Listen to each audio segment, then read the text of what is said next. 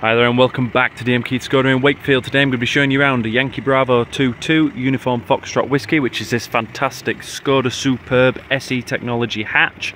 It's a 2 litre diesel with 150 brake horsepower and it has a 6 speed manual gearbox and it's looking fantastic in this black magic metallic as you can see. It's a really nice sleek looking design. I'm going to show you around it now, show you some of the features We'll start off with the 17 inch alloy wheels, all in excellent condition, really matching nicely with the chrome window surrounds there, just complementing it nicely. All tyres in great condition as well and not a mark on any of the alloys. As you can see we've got the rear tinted glass as well, the privacy glass. There's also the filler cap as usual on the right hand side. As we come around to the boot you'll see we've got the individual Skoda badge lettering instead of the central badge. And if I show you in the boot, as usual with these, you get a ridiculous amount of space in here. Having owned one in the past, they are fantastically practical, and with the uh, centre seats down as well, even more so. You've got 60-40 rear folding seats with the central ski hatch, you've got illuminating lights there, anchor points and tether points, you've got these uh, object holders, so if you have a box of, say, beers, for example, pop it in, and it'll stop it sliding around. Then you've got your usual, oh, excuse me a second, shopping hooks are there, on either side, a 12 volt charger socket, and then under the floor is a space saver uh, inflation kit and some extra storage there. Also, very, very practical. Then the best bit is when we step into this car. If you look at the seats here, luxury limousine that it is, you've got lovely full leather, all black and all basically brand new. It, they're not a mark on any of the seats. Still got the original ISOFIX covers on the left and right hand side. You've got the central armrest here drops down like so and you've got two hidden cup holders there also with the ski hatch access there you've got obviously electric windows in the back you've got lovely clean floors you've got pockets in the backs of the seats in front you've got extra storage sections in there as well with another 12 volt charger socket it's just very very nice in here very executive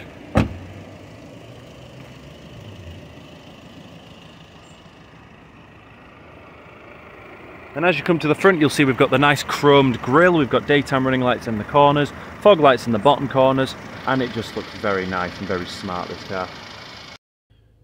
Then stepping into the driver's seat, again, it feels very executive in here. Again, full black leather in immaculate condition, very comfortable and padded. You've even got the little pockets in the sides of the front seats also, although I'm not sure what you'd get in there.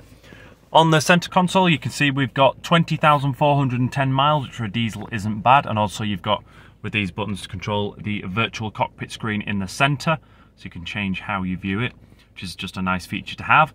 You've obviously got your indicators on the left with adaptive dynamic cruise control down here. You've got wipers, just the front wipers on the right hand side.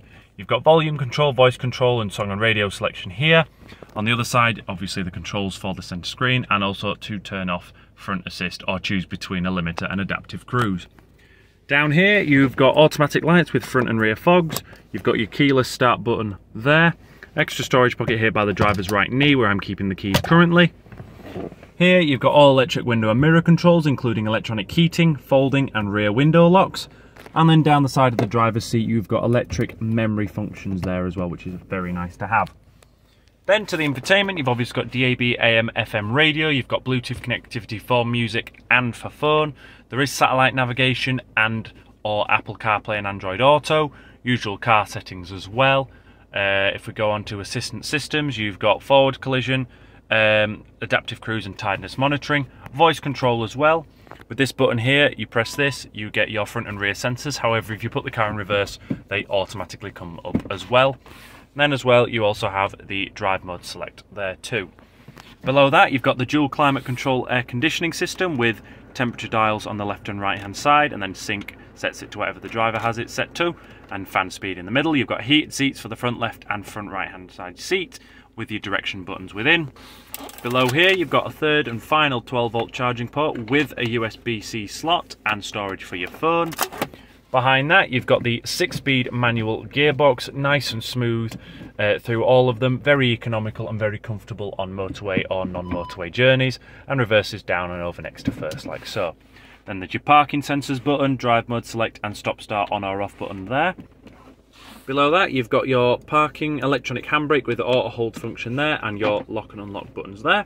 Behind that, you've got these uh, three-ish cup holders there, very handy there, and they can be hidden away.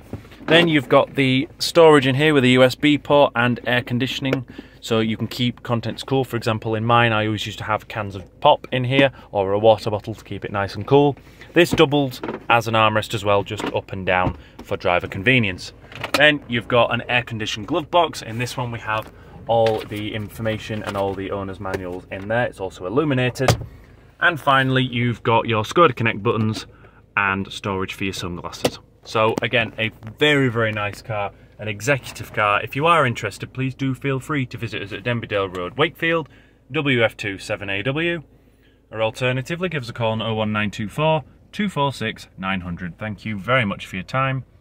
You take care now.